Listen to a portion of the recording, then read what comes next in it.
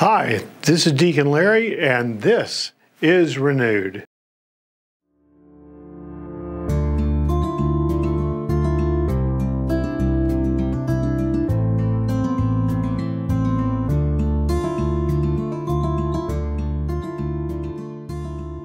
Sisters and brothers, as we were leaving the church on Ash Wednesday and as we go through the Lenten season, we'll encounter people who say this funny expression to us Happy Lent. Happy Lent. It seems so contrary. We say Merry Christmas, or Father Phil being English, we say here at St. Theresa, Happy Christmas, as the English do. And that makes all the sense in the world. We've got the wonder of the newborn Jesus. We've got gifts and friendship and re reunited families.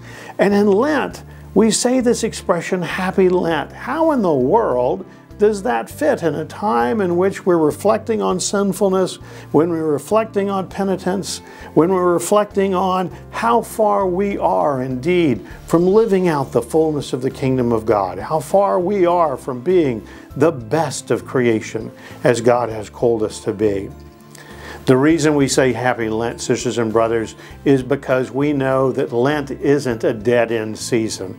It's a season that leads us into the Easter Vigil, where we hear in the Exultet, that great Easter prayer at the beginning of the Easter Vigil, where the translation used to say to us, Oh, happy fault, oh, necessary sin of Adam, because it was by the sin of Adam that Christ came into the world that Christ came into the world. Why? To free us from sin and death so that we might live in the glory and friendship of God. We've talked time and again that there are two reasons why Christ has come. One is the original intention of God that He would come to, that we might indeed live in His friendship and share in His glory, that Jesus might indeed walk with us as a human person, as divine God, the true God and true man, light from light, walking with us. But also, that because of Adam's sin, he came also to restore God's original will for us, and that was that we might all share eternal life with him.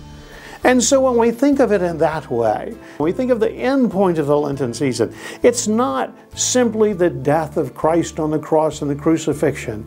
It's the complete message, which is that death leads to the resurrection, which leads to the sending of the Spirit, the birth of the church, the great sacramental life of the church for each of us, and our ability to ultimately live in the friendship and glory of God.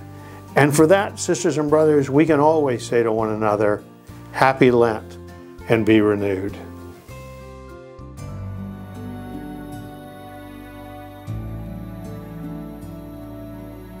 Please like, subscribe, or comment below.